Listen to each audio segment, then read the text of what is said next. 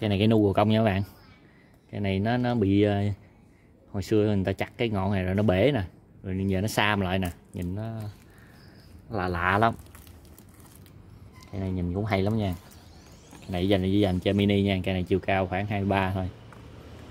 Còn như cái cụm chỗ này là 30 à 30 32 à. Cái này cấn mấy này nè bạn. Nó nu rồi nha các bạn. Hồi xưa nó, người ta chặt cái ngang cái nó bị bể này giờ nó lên mấy cái tược, giờ nhìn hay lắm nó lạ mắt. Cái này nhìn nó khá lạ mắt. Đồ công nha các bạn. So với gói thuốc đi, cho dễ.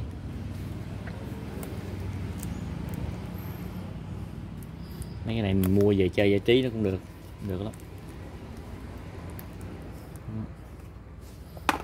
Anh quay lại gần.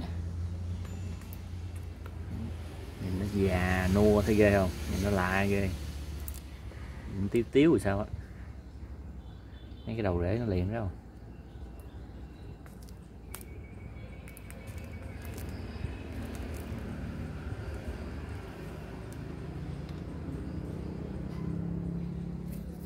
nuôi gò công nha các bạn.